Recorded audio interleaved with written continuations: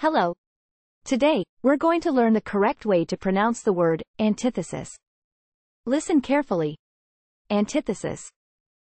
Once again. Antithesis. And for the final time. Antithesis. That's all for today. We would really appreciate if you could like and subscribe. It will help our channel grow. Enjoy your day.